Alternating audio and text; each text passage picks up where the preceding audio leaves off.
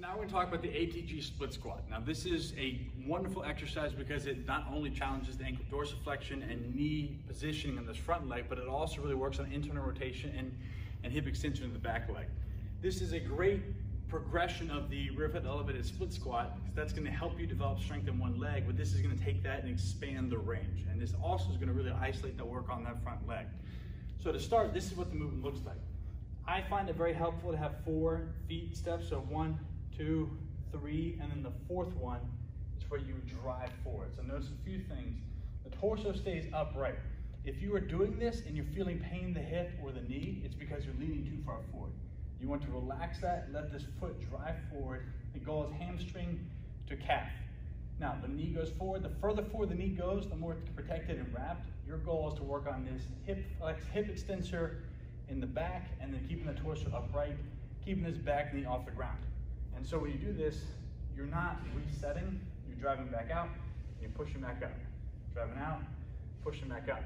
Now, if you aren't there yet, if you are stiff and you don't have that range of motion yet, what you'll do is you'll set up a, a raised portion and you'll go here and you step and you drive. So you notice I can keep this back knee a little more bent and still work on this. But again, the goal is when you get in this position, you're driving forward, the front heel comes off I'm straightening that back leg, keeping the torso up, I'm holding this position, okay? So you go here and you drive up. So this is the regression.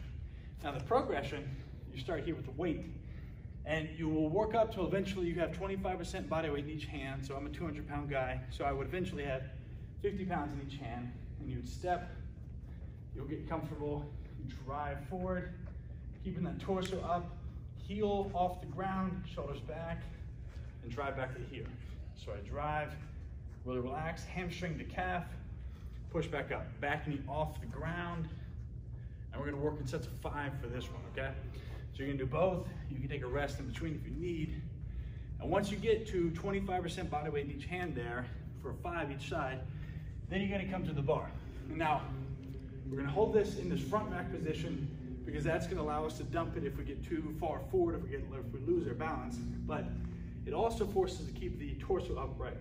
So I'm getting this position, drop, drive forward, and then push back up. So I drive forward, heel comes off the ground, hamstring the calf, shoulders upright, back knee off the ground, keep my leg straight, and I push back up. So I'm going five in a row, okay?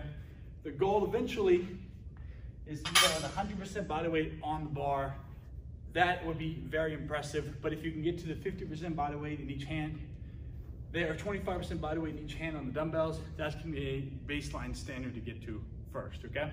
That is the ATG split squat.